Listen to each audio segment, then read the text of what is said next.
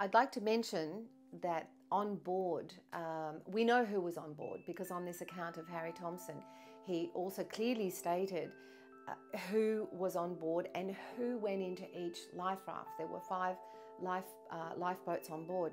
Now, when the Viscount Melbourne it originally came from uh, from Madras and it called into the port of Singapore to take stores, but it also took two new passengers, which was a Colonel Campbell coming from the regiment from um, Madras, and he was being re-stationed in Macau. So he came aboard, and there was a, a young woman, 22 years old, Mrs. Dare. She'd originally left with Captain Dare from England, but conceived along the way, and of course was left in a boarding house to have the child. And the child was now two months old. The baby was at the breast, and a two-month, uh, a two-year-old little boy.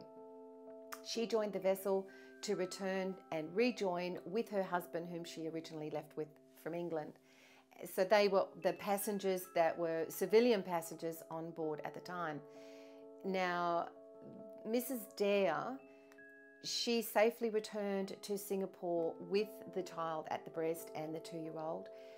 Colonel Campbell, once they left the boat, the five the five lifeboats were left.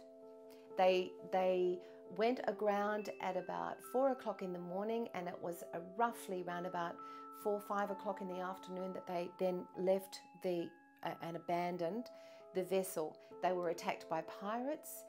The Lascars, the Indian Lascars that were uh, our modern day ABs, equivalent to the ABs on board, they tried to get away. They didn't want to be a part of the group and they were actually killed by pirates. And Colonel Campbell went ashore uh, to have a look to see what uh, was going on and didn't return. And that is why the Royalists actually came to Rajah Brooke in Kuching because the, he, they were actually looking for Colonel Campbell because he obviously had some status.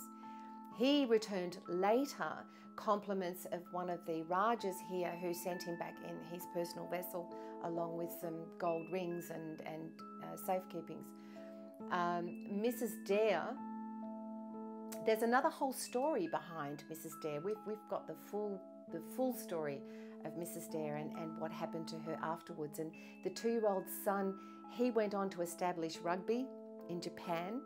And I've recently been contacted uh, from a gentleman in, in Japan following that uh, account because they're giving a um, uh, they're celebrating that fact this particular year that he established that. And Mrs. Dare went on to have a third child. We know that she died in Japan. We know that she died with the, the uh, Julius Dare in Japan. We've got the full account, the full account of Mrs. Dare and her life after the wreck and how those lives impacted and the history today that we have.